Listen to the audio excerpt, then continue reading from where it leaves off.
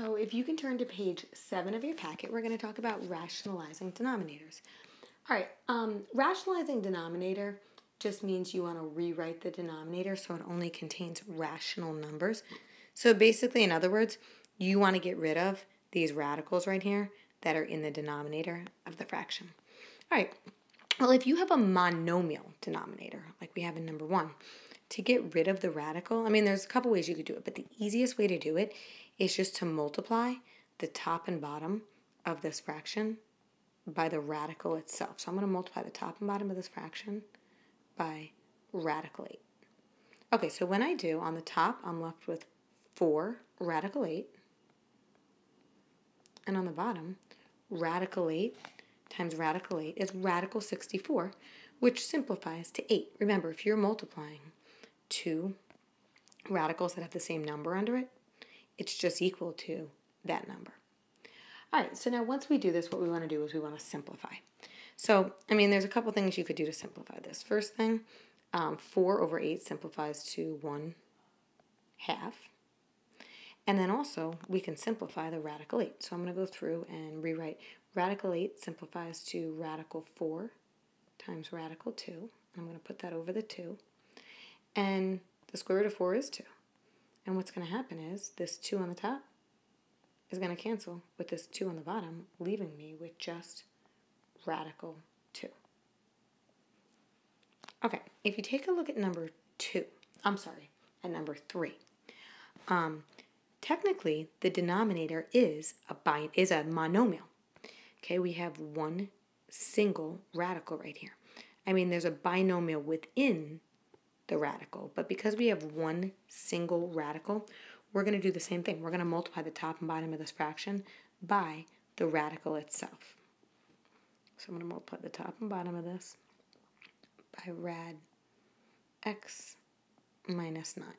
Sorry, my pen is a little bit bigger than the uh, font of the question.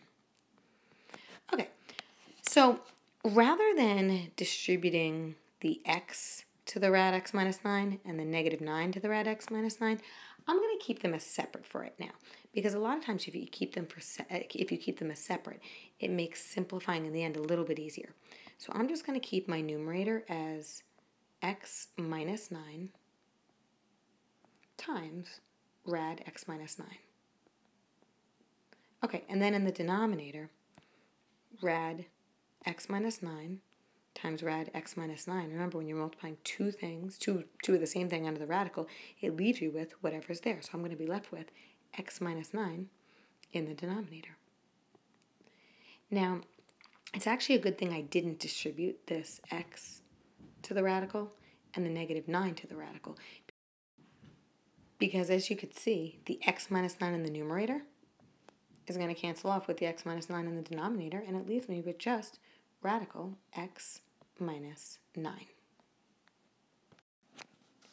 Okay, so what you'll notice in number 5 is we now have a binomial denominator.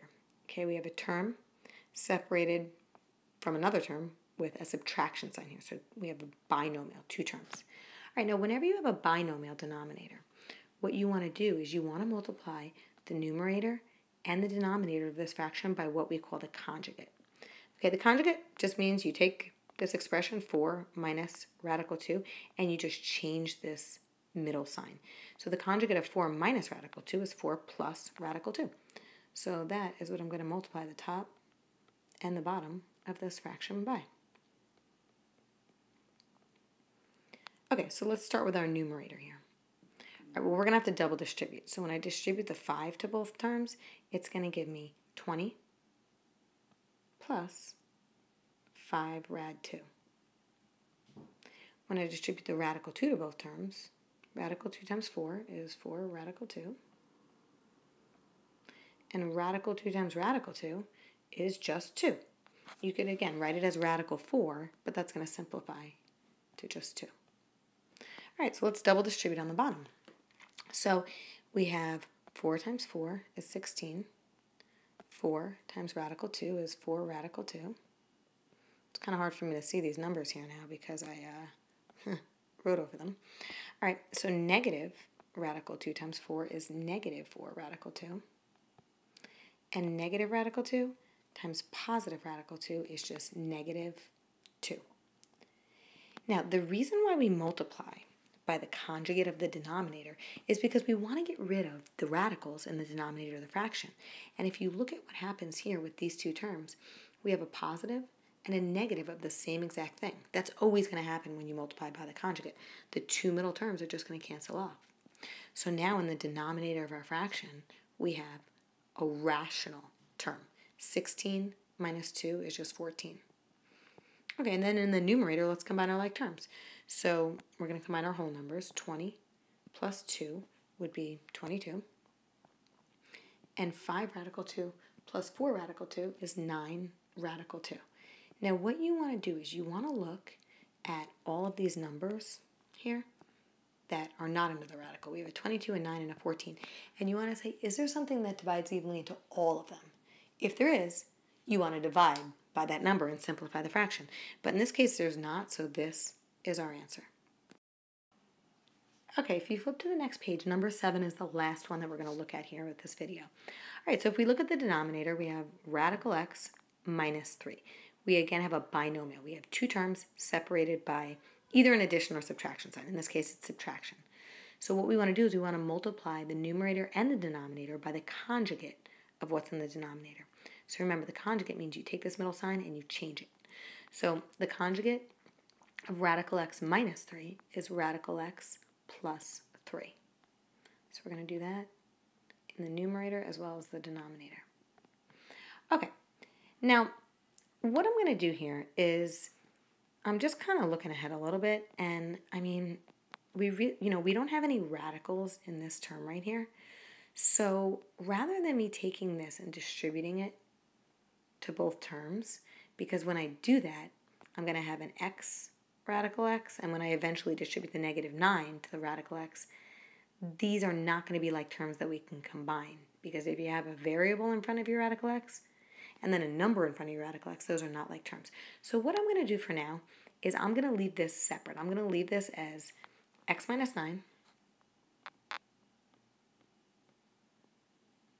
I'm just going to leave it as, I guess in another parenthesis, radical x plus 3. I made that radical kind of big. I probably shouldn't have done that.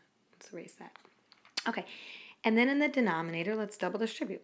So radical x times radical x is just x. Radical x times 3 is positive 3 radical x. Negative 3 times radical x is negative 3 radical x. Make that x a little better over here.